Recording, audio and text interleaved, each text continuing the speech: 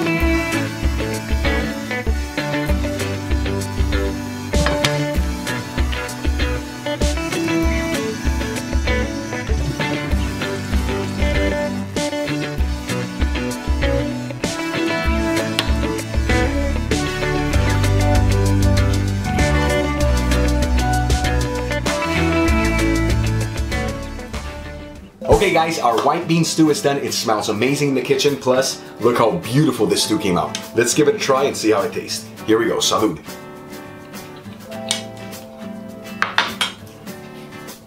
So good.